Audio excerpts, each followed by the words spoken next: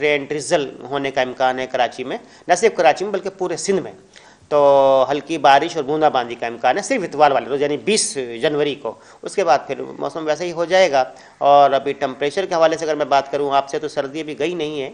और हम लोग अभी आज चौदह पे हैं, हो सकता है फिर हम दोबारा दस ग्यारह पे वापस आ जाएँ। दो तीन दिन के बाद जनवरी अभी हमारा ठंडा ही गुजरेगा।